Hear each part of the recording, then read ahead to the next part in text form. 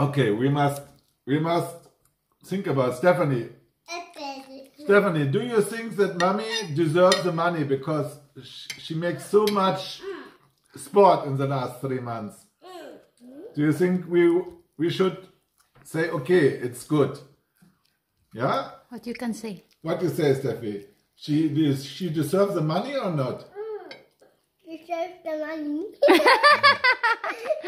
Timmy, Timmy. Timmy, Mommy deserve the money or the nine? tell me. Uh, nine. I will I will buy you a car if you say yes. so yes or no? Papa teeth Papa detective. Oh, ja, aber dann den So mom, is it yes or no? Is it decided or is it not decided? Yeah? Talk properly. Did mommy win the bet of 1,000 euro? 60,000 pesos? design again. Did mommy win or not? Yeah! Yeah? So let's see. So then mm-hmm. it's decided, no? Let's see later.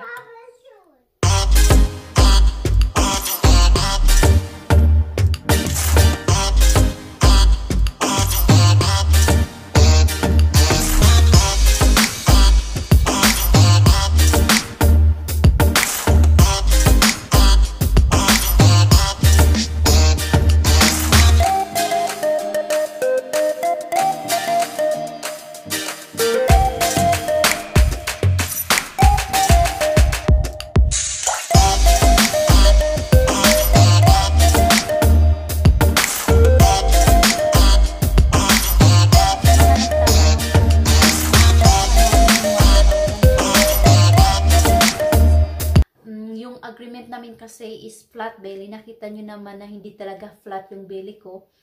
And although I lost 4.4 kilogram, uh, meron pa rin tayong ano, meron pa rin tayong fats. At saka tuloy-tuloy ko lang yung challenge ko hanggang ma-achieve ko yung flat belly. Pero sad to say, hindi po tayo nanalo ng 1,000 euro or 60,000 pesos.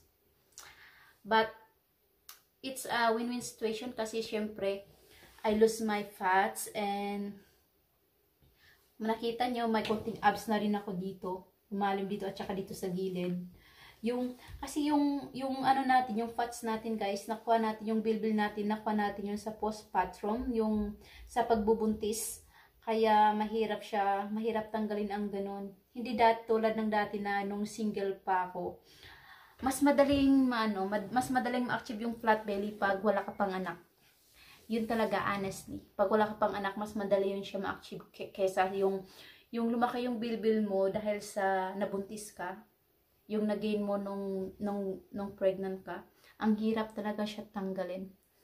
So sana kung kagaya nyo ako ng mga mamis na gusto rin na magpapayat, try nyo lang Ah, wala namang mawawala.